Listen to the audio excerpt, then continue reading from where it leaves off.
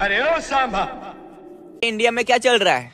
India में तो happy new year happy खत्म bye bye Tata goodbye गया। क्यों भाई इतना शोर क्यों मचा रहे हो? किस बात के लिए खुश हो इतने?